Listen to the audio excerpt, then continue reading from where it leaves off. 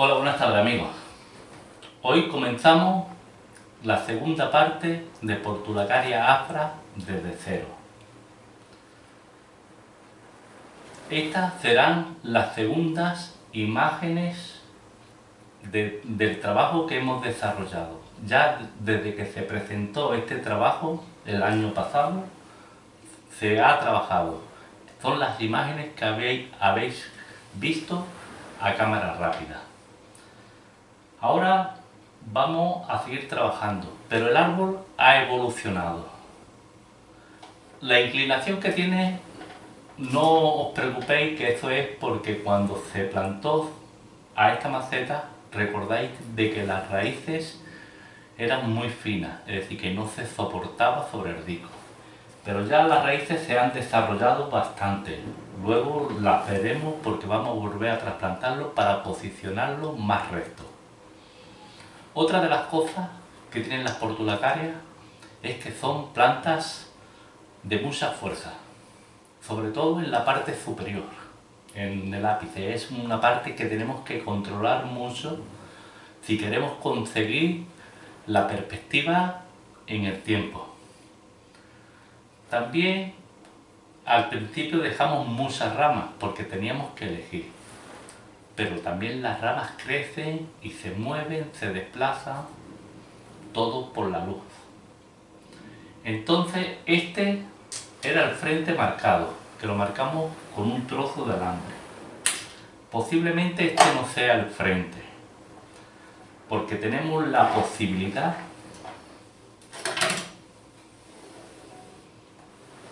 de elegir este frente por aquí. La primera rama podría ser la misma. La de profundidad, esta que queda muy bien separada. La siguiente lateral estaría aquí. Y después cortaríamos arriba, pero vamos a seguir definiendo. Definiendo, lo primero que tenemos que hacer es retirar fuerza de la parte superior. La parte superior vamos a, a siempre a eliminar lo más grueso en detrimento de lo más fino. Por lo tanto, de principio nos quedamos con esta zona y eliminamos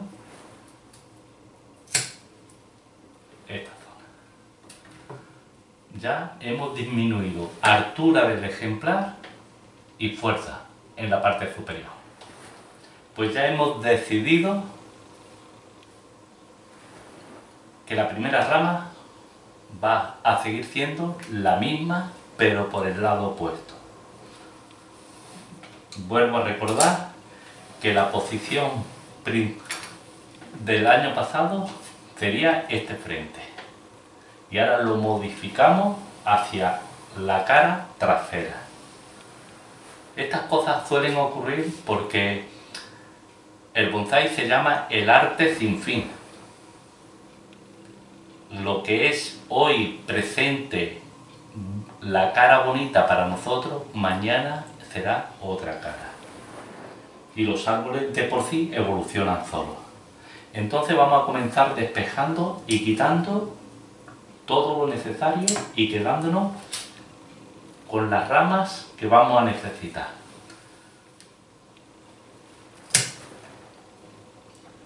Vamos a seguir despejando y despejamos aquí también.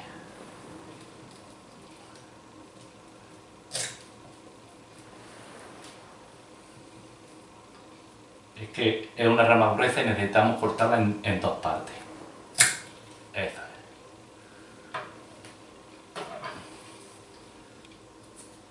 ¿Veis el corte?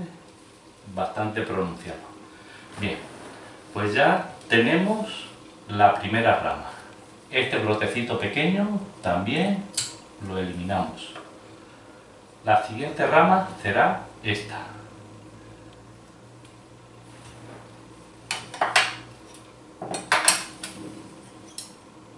Cortamos aquí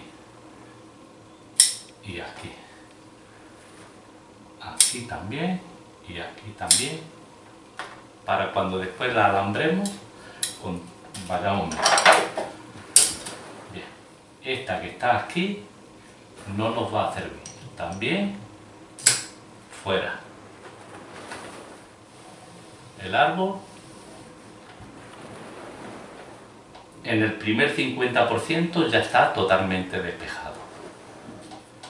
Pues ya tenemos primera profundidad y esta de aquí también vamos a despejarla. Y ya tenemos de lateral esta que está que crece un poquito hacia atrás, pero mediante el alambrado nos la traemos aquí. Entonces ya tenemos las dos primeras ramas principales, una aquí y otra aquí. Y la de profundidad en diagonal hacia, hacia afuera, hacia el fondo, para ir creando esa perspectiva. Lo que tenemos que seguir pensando en crear la anchura necesaria que vaya acorde con la altura del ejemplar y la profundidad. Creamos las, tres dimensiones. Hay una cuarta dimensión, pero sobre esta no me voy a referir todavía. Queda mucho tiempo por eso, para hacer eso. Vamos a seguir despejando. Por ejemplo, esta. Otro. Vale.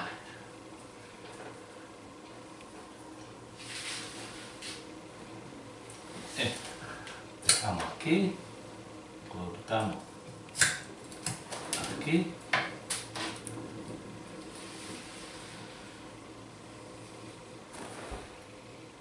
Y cortamos aquí.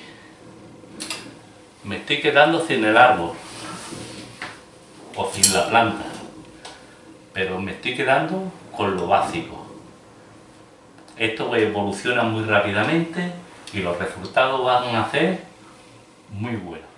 En el último tercio del ejemplar ya las ramitas pueden venir hacia el frente, porque este tipo de ramitas más lo que es el ápice harán lo que es la cúspide del árbol. Bien, pues entonces tenemos una, dos primarias y dos de profundidad. Bien. Ahora,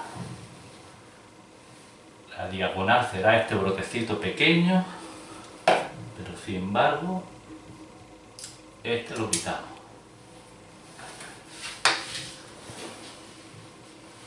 y vamos a quitarle un poco más de altura al ejemplar. De esa forma vamos afinando el ejemplar hacia arriba.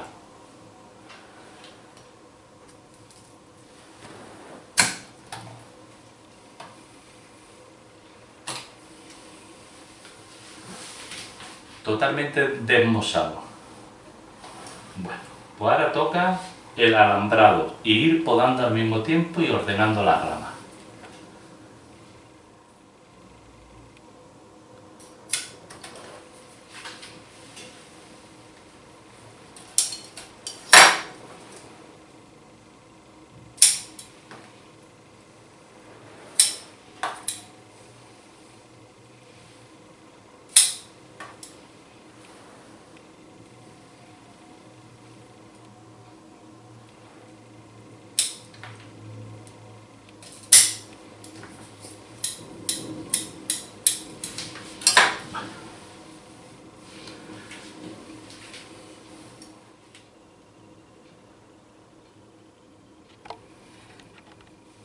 Ya estamos aquí de nuevo y ahora vamos a, comenzar la fase de alambrado. Como veis, pocas ramas nos hemos quedado. Una, dos, tres y dos de profundidad y otra aquí. Y esto sería el ápice. Ya hemos reducido también la altura del ejemplar. Bien. Pues la, altura del ejemplar siempre se reduce mediante la poda. Podamos sobre la parte donde deseamos cortar y una de las ramas laterales lo que hacemos es elevarla hacia arriba. Con ello o reducimos la altura o la compensamos. Bien, vamos al alambrado. Mientras vamos alambrando, iremos comentando algunas normas de... Me había escuchado decir que se pueden alambrar dos ramas con un solo alambre. Solo que si utilizamos un alambre tendremos que dar una doble vuelta el alambre sobre el tronco.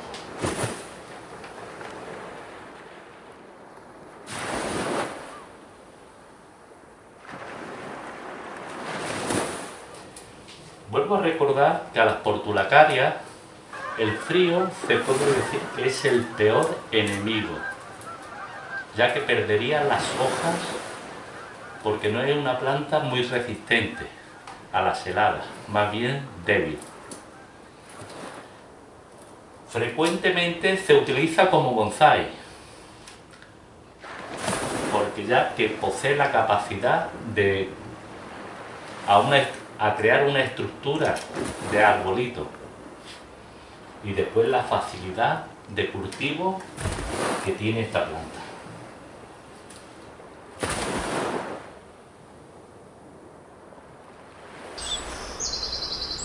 Preguntaréis ustedes que vaya paliza que le estoy pegando al ejemplar. Es necesario. Estas cosas son necesarias. Pero lo que sí es muy importante hacerlas en el momento que que comience el calor. ¿cierto? Hoy estamos a 15 de junio, es decir, no hemos llegado todavía al verano, pero en la ciudad de Málaga el sol, el ya está apretando.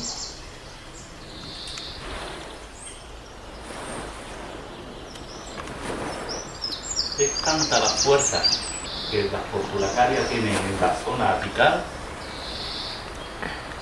que los internudos son muy cortos y las hojas mucho más densas y esto va en, detrimento de las partes inferiores. Pueden ir perdiendo vigor las ramas inferiores. Por ello es muy importante despejar más en las zonas de arriba que en las zonas de abajo.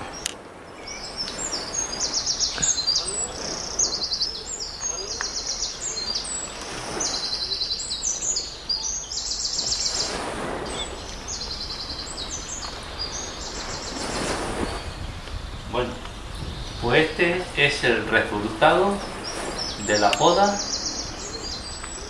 y el alambrado. Un nuevo diseño para el futuro. Ahora vamos a trasplantarlo y vamos a, quitarle el CD que tenía bajo la raíz. Os recuerdo que se trasplantó el año pasado de una maceta de cultivo a esta maceta tipo bonsai acuerdo? Vamos a, a sacarlo del tiesto. Recordáis de que el tiesto era muy poroso.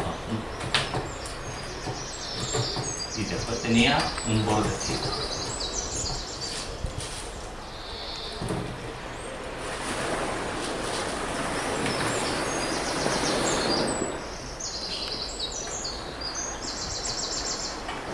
Vamos a emplear un cuchillo de cocina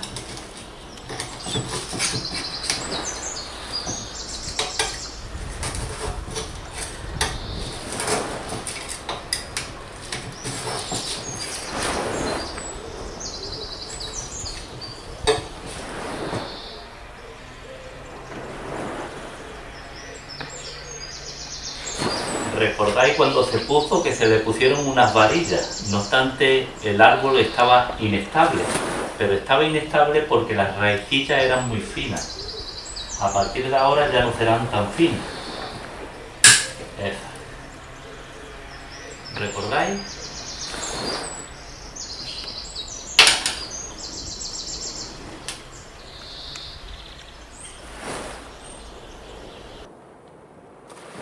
Observad el pan de raíces. Incluso las rejillas la han absorbido.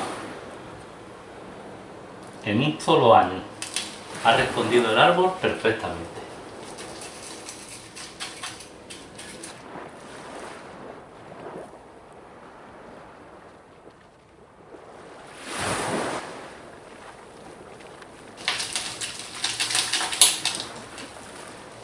las raicillas finas del año pasado, observar el grosor.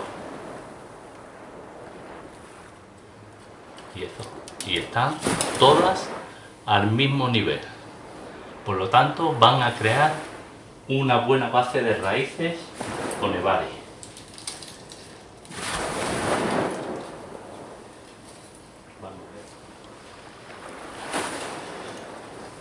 Bueno, pues ya tenemos el destornillador aquí y lo mismo que se lo pusimos en un principio el disco de plástico y su tornillo bueno.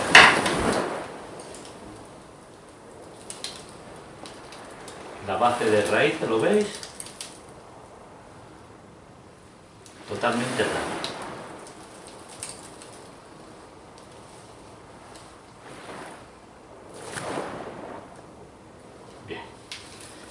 Ahora vamos a podar un poquito toda esta zona y, y estos moños.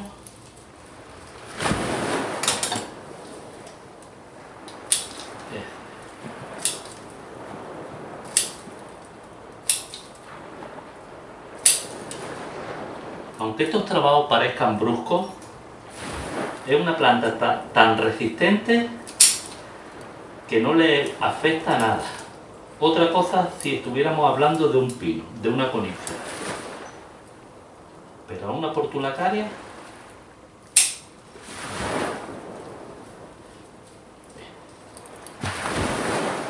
vamos a comenzar el trasplante y vamos a utilizar el mismo terreno que utilizamos el año pasado. Ya que como podéis observar es bastante poroso es decir, la degradación que ha cogido el terreno no es suficiente para cambiar.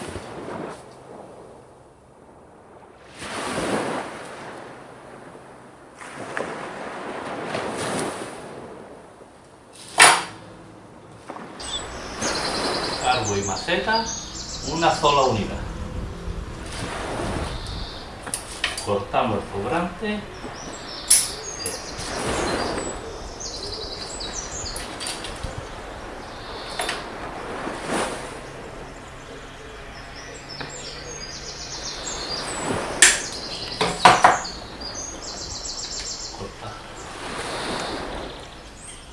al tener borde hacia adentro, me permite el amarre también con varillas o cañas de bambú.